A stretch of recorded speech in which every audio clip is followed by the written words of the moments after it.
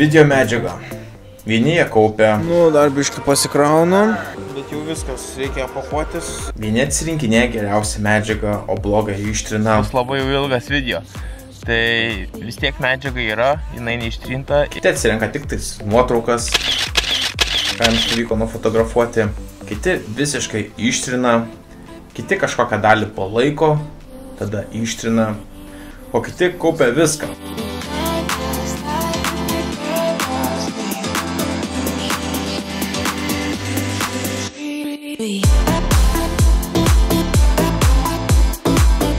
Viską per naują, bet dabar geras greitis, tai greitį keliu.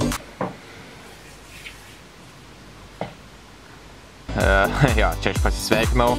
Tai visus su šventom Velykom. Vlogas įsikels iš mano telefono, nes jų internetas žiauriai lėtas, tai tiek to. Tai aš jau turbūt keliauju, neturbūt to septyni metai.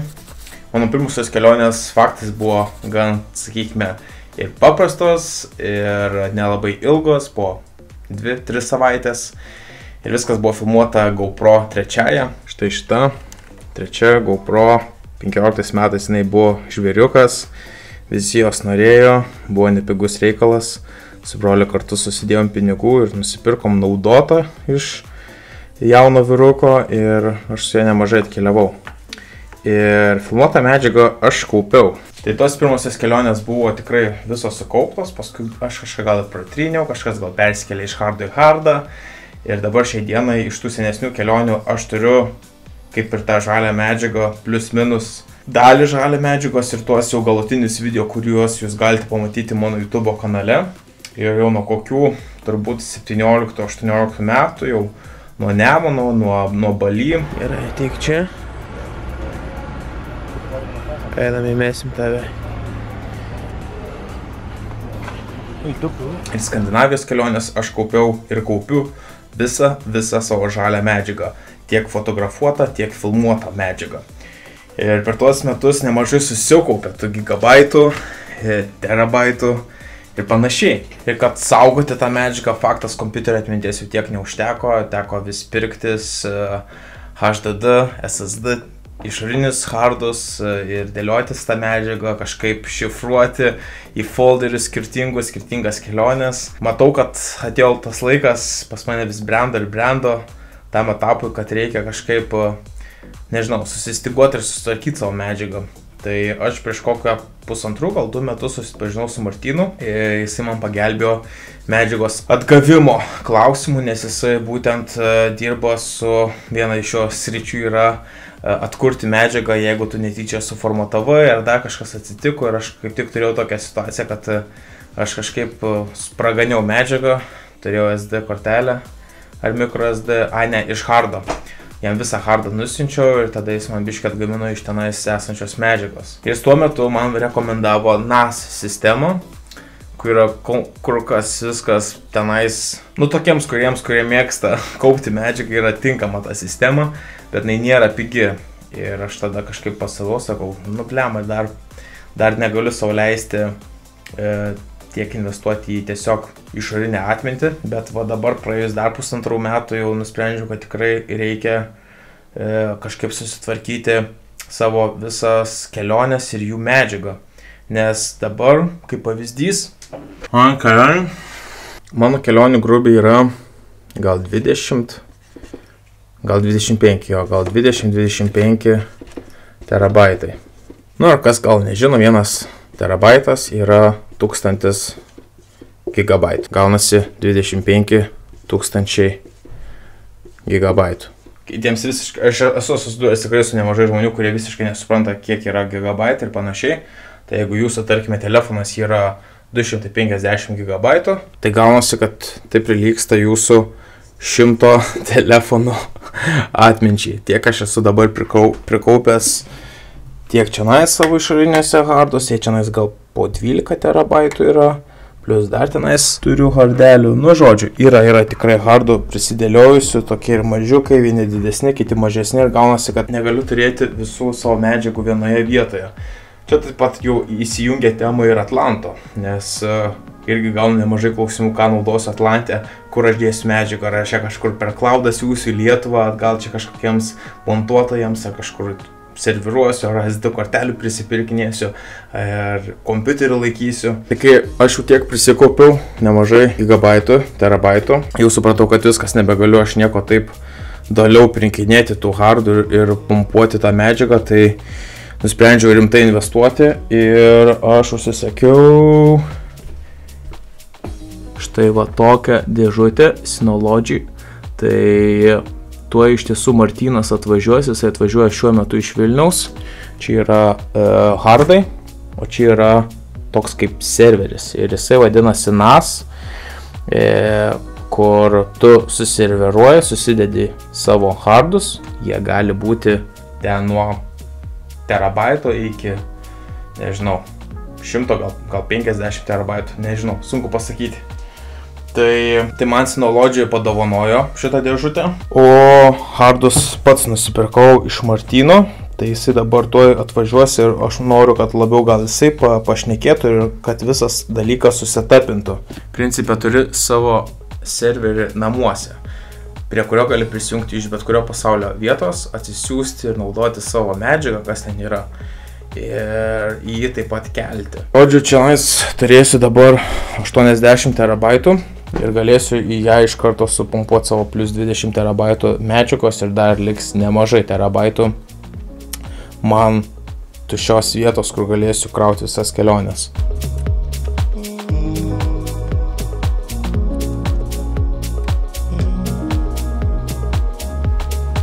Neblogi ventiliatoriukai. Žinai, reikia dulkiam. Nu, kad, ne, kad neužkeptų.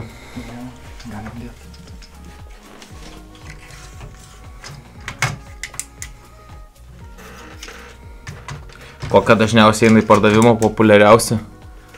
Kelių skilių. Šiaip pagrindė small businessas visas statosi, nu, bent jau aš kiek jų stačiau, tai dviejų skilių užtenka. A, tik dviejų, ne? Jo, užtenka ten 10-15 žmonių, sočiai. Mhm. Nu, ja, tokiems vordiniams failiukams. Jo, pagrindė dokumentai. Ne, su tiem skilėm, tai čia be šansų. Kur dar vienas dingo? Op. Ok. Nu, sveria. Ką, užrakinam? Ne, nerakink. Nerakint. Nerakinam. Gerai. Laidai čia nais. Nešam, kur tu įstatyti nori? Tiek tenais už kompų ir viskas. Čia, ne? Jo, manau. Nu jo, čia šitas jaučiu elektrėlės biški siurbė. Nu, žinai, tiek diskų sudėti. geru, geru periodu pasijungiau, kai tikrai pigi elektra. Labai pigiai. elektra. Ir dar tik eurą parą, nu, jis nieko, jisai, kai, kai mažai, kai tu jo šiandien nenaudo, visiškai nenaudoji, tai... Tai realiai, jeigu aš žinau, kad lėkiu, Žinoma, pereina ir nesisuka tie diskai praktiškai. bet jeigu, pavyzdžiui, lėkiu į kelionę ir žinau, kad nenaudosiu per Wi-Fi, kad prisijungti prie jo, tai realiai galiu išjungti. Tai ar tiksliai išjunginė? Ne? Ne, jisai į būdėjimo režimą, diskus išjungia, diskai nesisuka ir viskas. Ai, Nedaug vatų valgys. ne kosmosas. Visiškai. Nes blemba šitos jau vardelius, tai jau pavargau dėliotą medžiagą. Nors gerai tokia ekstra, žinai. Nu, Nieko čia gero. nieko gero. Nieko čia gero. O tai, tai, tai kaip žinot, ar geras? Na, aišku, šitie tai senėjau. O čia dar suformatuotas, net jau rašydavausi. Nu, grubiai diskui lifetime'as 10 metų. Jisai naudok, nenaudok, po 10 metų tu jo gali net neįsijungti. A ne? Taip. O, masau, tai jeigu dar po 10 metų įsijungia, tai geriau persikelti medžiagą, ne? Jo. Bet čia visiems yra SSD ir HDD? Ne, SSD tai visiškai, visiškai kitaip veikia, jisai neturi sukančių detalių. Ten... Bet aš girdėjau, jeigu netyčia suformuojat SSD ir iš jo ir nori įsitraukti medžiagą, tai jau sunku. Įmanoma, žiūrint, kaip suformatuosi. Mhm. Daug niuansų. Tai kokios mistake yra, kai žmonės renkasi hardus? Žiūri tik dydį? Žiūri į kainą. Į kainą? pačius pigiausius. Arba perkasi, šiaip reikia stengtis pirktis kuo mažesnės talpos gaminamos. Nu, tai terabaitų. aha. 2 terabaitų. Jeigu asmeniniam, nu, as, asmeniniam naudojimui. Ir geriausia pasidaryti iš laptopinio disko ir nusipirkti atskirai dėžutę. Ai, laptopinis diskas geras. Jo. Jeigu, Nu, jeigu tiesiog e, pirkti diskopinį diskelį e, hardą Jo. ir įdėti jį į išorinę jo, adapterį. Jo. A, tai šitie gerai, gerai sukasi. Ar mažiau kliurkų? Neužlinksta. Mažiau kliurkų. Kokį tu greitį turėsi Atlantę? Nu, teoriškai pusę megabaito per sekundę. Pusę mego? Mhm. O tau ten svarbiau bus parsisiųsti ar įsikelti? Aišku, įsikelt, ką aš to siūsiu. Ką man švaistyti Nu jo, internetą. Tik tai skelsiu. Jo, jo, jo. va jung. Nu, davai. Radiacijos kaiduos. O. Motušė. Dabar kol visi 10, ne, kiek čia Aštuoni. 8 įsisuks. Ai, sumaišiau 12 skel, skilių kainuoja pusantro tūkstančio. Gali būti. Jo, jo, jo. 8 šitą pigesnį. Bet tai gaunasi, kad aš tos hardus turiu kažkaip susiformatuoti, kad... Uh, kaip pavyzdys, dirbant su Macu ir Windows'ais. Mm, ne. Čia pats uh, Synology's turi savo operacinę sistemą. Uh, Tai jau suformatuosim diskus, nežinau, parinksim kažkurį raidą. Bet tau greičiausiai daug talpos reikia, tai pagal rekomendacijas darysim namams, tai jau čia ir naudosim visus 10 terabaitų. Palaimės. Kiek? 10 kart 8. 80 terabaitų. Jo, jo.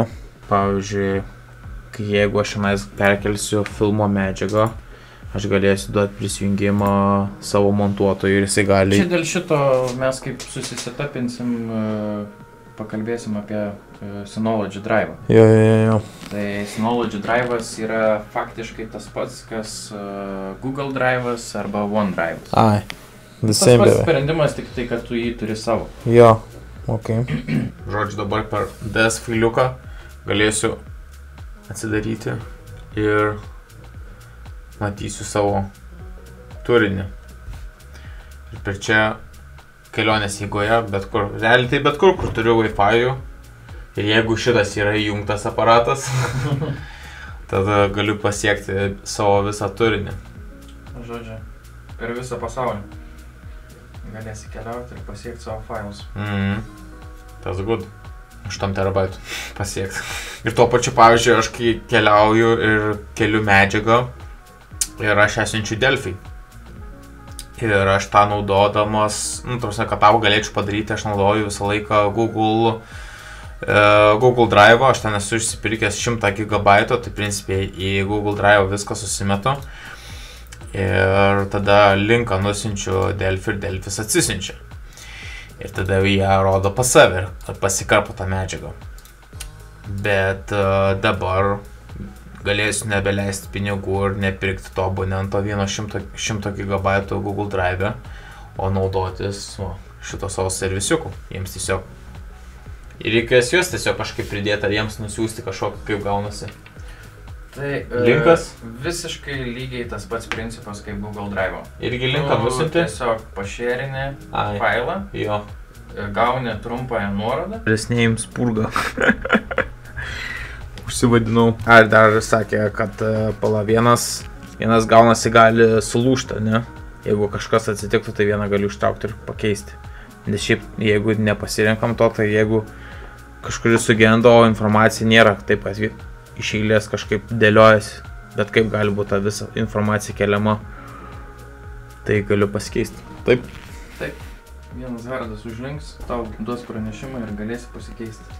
O kaip ten būna su tais mirror reikalais, kad tipo galima mirrorinti savo medžiagą, jeigu susikorupsintų? E, tai čia naudojamas irgi tam tikras raidas. E, tai tiesiog e, mirrorina tavo visą bendrą e, atminties vietą. Padalinti galima iš dviejų. Ir pusę, pusę, pusę, pusę diskų gaunasi kaip veidrodinė kopija.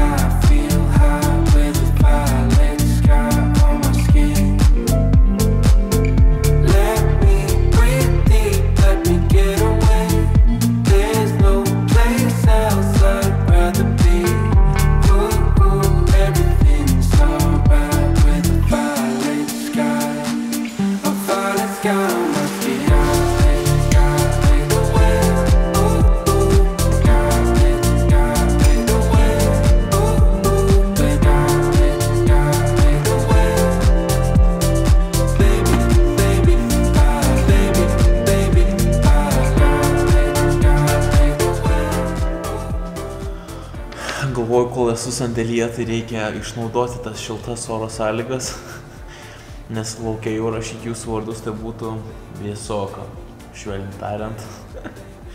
Bet neblogai užsipildžiau, dar reikės rytoj atvažiuoti čia, dasibaigti, šiaip dar yra darbelių.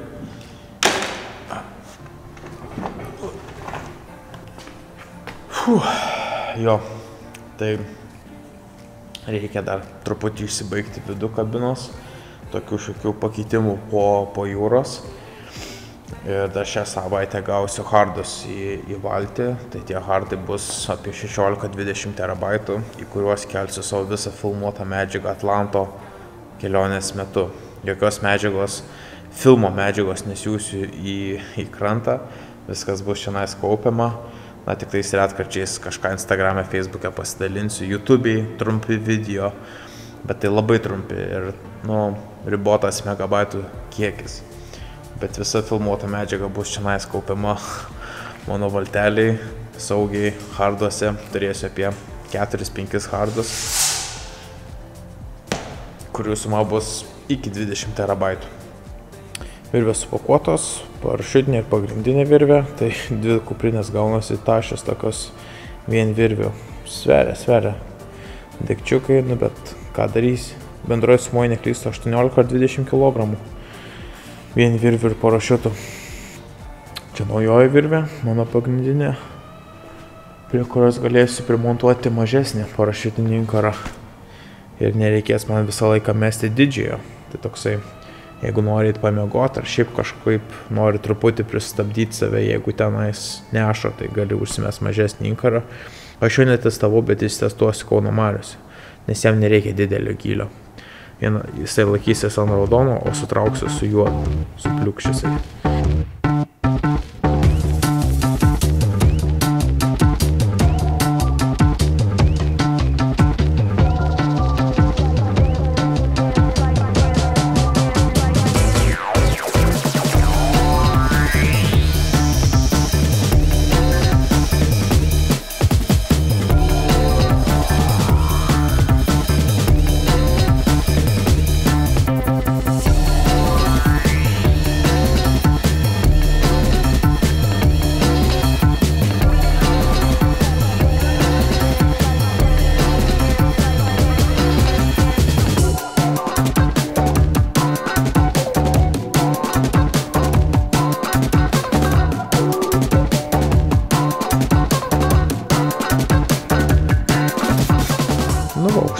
biški jūsų vardų. Jo, jau, jau padaugėjo, padaugėjo. Čia nais. Čia nais apačia. Čia va dar dasidėjo. Tai čia nais supildžiau dabar e, visus iš Svetbanko esančius vardus, kurie prisidėjo nuo rugsėjo pirmosios dienos iki šiandienos. O šiandien yra Men pas mane spalio 15 diena, tai šiaip visai man svarbi data, nes lygiai prieš dviejus metus buvo šita diena.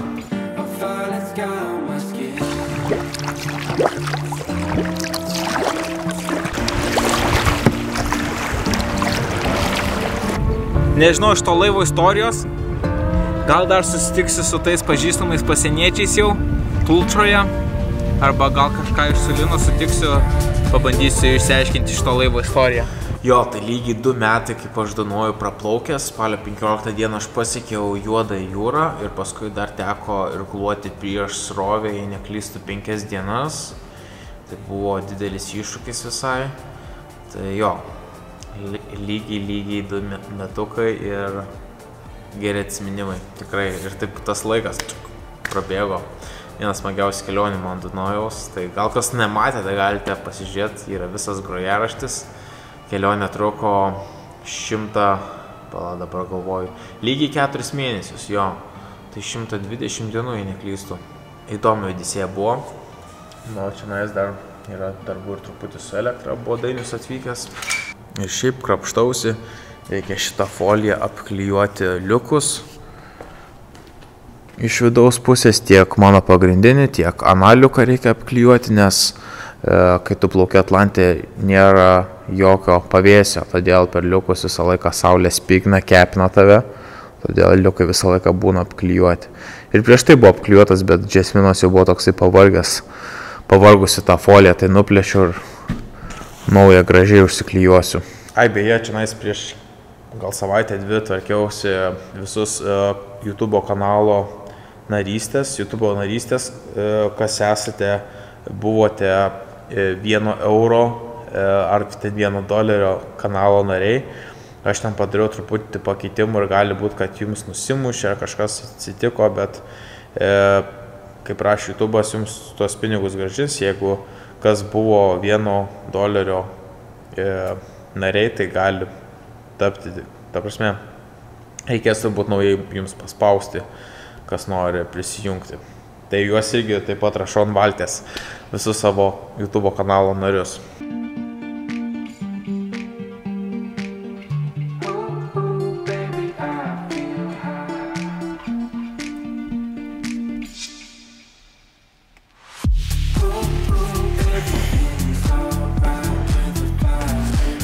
kai plaukiau, kai treniravausi Baltijos jūroje, supratau, kad žiauriai didelis yra kondensatas viduje.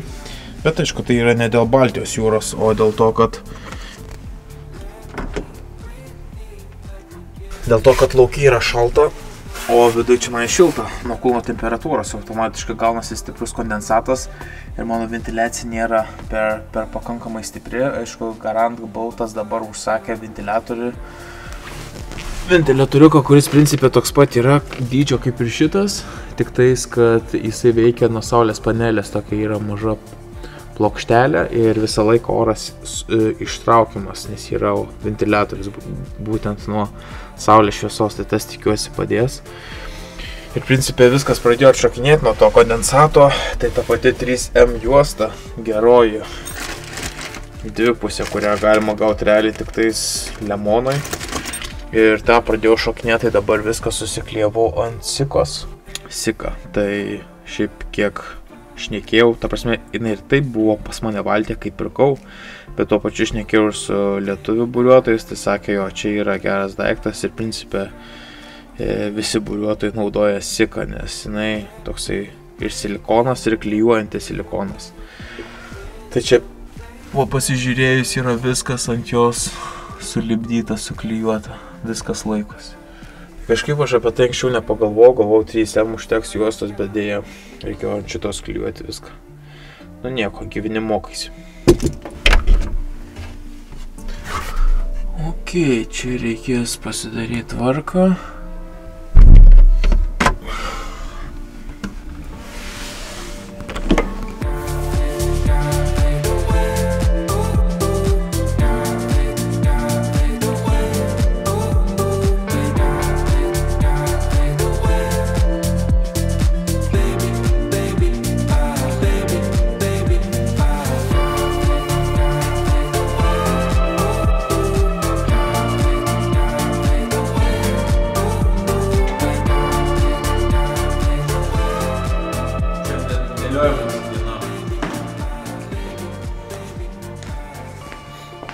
Šiandien rušiuoju daiktus, kas kur turi būti, kur turi būti atsarginiai daiktai, kuriuos reikės išsitraukti arba nereikės išsitraukti, kas turi būti emergency daiktai, kas yra daiktai, kuriuos naudosiu kiekvieną dieną, plus minus. O, Vilsonas, pasisveikink su mano fanais. Jau, jau, jau. Na ir kas dar visokiausių daikčiukų, virtuvės dalykėlių, mano puodas, sostas, mano sostas, dar truputį svirvių ir panašiai. Tai žodžiu, viską reikia susidėlioti, kas kur turi būti ir susidėlioti į sausus krepšius. O tada į valtį. Nes valtyje būna daiktų, namų, namuose būna daiktų, dar kažkur daiktų ir plius minus žinai, kad jiems į kelionę, bet reikia pasidaryti tvarką, tiksliai susirašyti kad uh, žinotum, kur kas yra ir reikėtų spraktelti pirštais ir tą pasimtum. Tai va tą dabar ir bandau pasidaryti. Jau čia atrodo nemažai darbo, kai taip viską apėjau, bet iš tiesų yra nemažai darbo. Aš šiandien esu kokių dviejų ar pirmos. Dabar jau pusė aštuonių. Bet kai visi daiktai yra vietoje, išmėtyti, tu tada gali juos skirstyti į skirtingus skirelius. Bet kai būna Baltija, tai tu nežinai ten kas kur tiksliai yra. Todėl viską išsitraukiu vėl kartą, kad susidėliot, užsirašyti ir jau daugiau nebeliesti tų daiktų principė. Tokia yra mintis. Tikiuosi pavyks per šiandien rytojų. Nu, bandysiu šiandien dar pasėdėti iki kokio 11, gal 12. Čia yra sargas, bet jis irgi ilgai nemiega. Kartais ateina kompanija palaikyti. Antras, dar turėjo trečią siūsti. Šitas buvo Jasmina pardavė kartu. Šitą naują užsisakiau ir dar turėjo trečias ateiti, bet netėjo. Atgražino pinigus. Nes dalinantis muziką, šėrinant muziką iš telefono, tai telefono naudoja bateriją, tai daug sirbė. O per šitą daikčiuką viskas yra paprasčiau ir jie yra būtent tam pritaikyti muzikai, audio knygom ir panašiai. Tai čia bus mano e, daikčiukai, kuriuos naudosiu dažnai. Ypatingai kaip kiti yra irkluotojai sakė, labai sunku būna naktį, nu arba tamsių paros metu irkluoti, nes ir šiaip toksai ir nuvargęs, ir psichologiškai, ir dar jeigu vėjas, dar kažką, blogos oro sąlygos, ir kluoji, tai muzika iš tiesų naktį gelbėjai ypatingai. Tai kadangi čia yra viskas per Bluetooth'ą, tai aš sausinukais būsiu, Bluetooth'iniais ir galėsiu šitą laikyti kabinoje, tai jisai negaus jokios druskos, nu, gaus druskos, bet mažiau. Ir aš galėsiu ir kluoti klausydamas muzikos. Šitą ausinukų irgi keletą užsisakiau. Nu žodžiu, visko reikia turėti po 2-3, nes druska viską ėda. O kai suėda, batai. Tada pats gali pradėti dainuoti, jeigu nepasėmė daugiau ausinių ir kitų elektronikos dalykų. Tai kaip baterijų, kamerų ir panašiai. Telefonų.